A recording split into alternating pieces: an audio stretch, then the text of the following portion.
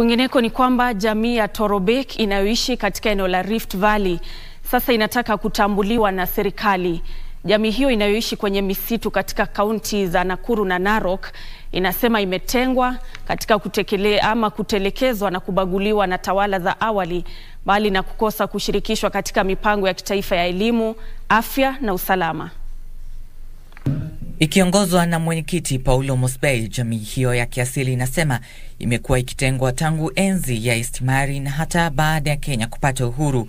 Wanasema haki yao ya kuwa na makao imekiukwa, huku wakifurushwa mara kwa mara kutoka mahali wanamoishi. Huko hapa na jamii ya Torobek community tukililia serikali ya kwamba ili aweze kutupatia makao na kutupatia compensation ili watu yetu wakae kama watu wengine katika nchi yetu ya Kenya.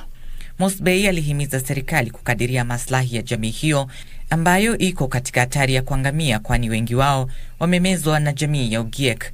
Maoni yake yaliungwa mkono na mshauri wa jamii hiyo Francis Kios aliyedai uwakilishi kwenye serikali ya kaunti ya Nakuru au ile ya kitaifa. Mashamba ile ambayo wasungu walitunyang'anya wakitusukuma mpaka forest, mpaka saa hii hatuna chochote, sisi hatujatambuliwa. Hata wakati wa uteuzi wa MCS tungehitaji tupatiwe moja.